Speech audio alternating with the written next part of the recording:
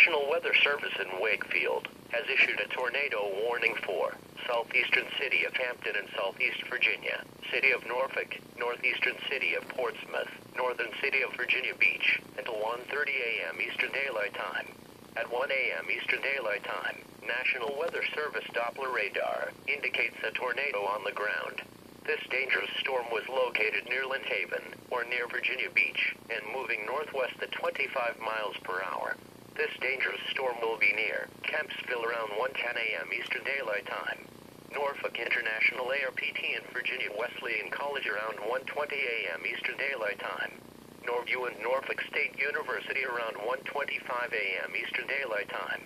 Ocean View, Norfolk NAS, Old Dominion University and Fort Monroe around 1:30 a.m. Eastern Daylight Time.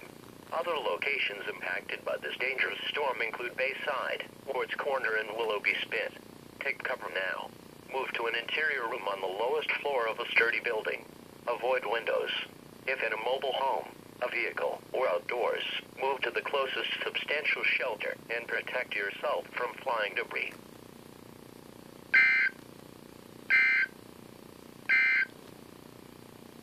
Tropical storm warning remains in effect.